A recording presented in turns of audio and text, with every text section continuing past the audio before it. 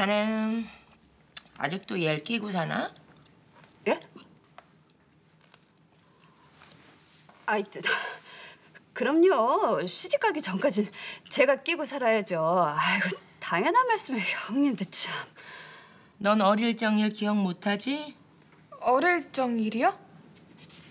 무슨 아, 아이고, 어릴 적에 기억하는 애들이 몇이나 된다고요.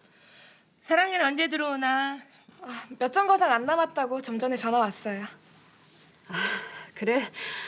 아유, 형님 가시기 전에 얼굴이나 봤으면 좋을 텐데.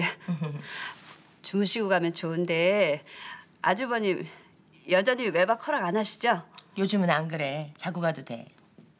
아, 저, 그래요? 그럼 저 주무시고 가실래요? 자네가 정 원하면 그러지 뭐. 아니 뭐 제가 저 원한다기보다는 밥값은 하니? 아 그럼요 당연하죠. 요즘에 홈쇼핑에 진출해서 잘 나가요 우리 한이. 오늘도 멋지게 한 건 했대요.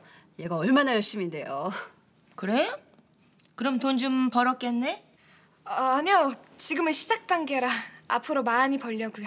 돈 벌면 그 돈 다 너희 엄마 줘야 된다. 넌 그래야 돼. 네? 네, 그럼요. 다녀왔습니다. 어머, 사랑아. 어, 고마웠다. 오랜만이에요.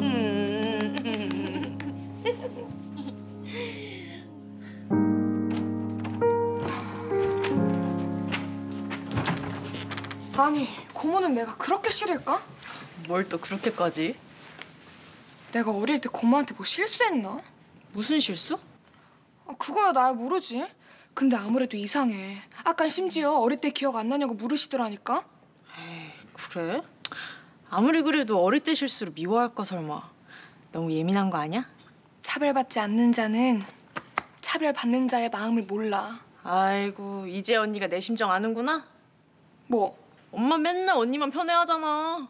엄마가 언제? 저 봐요 저거. 어?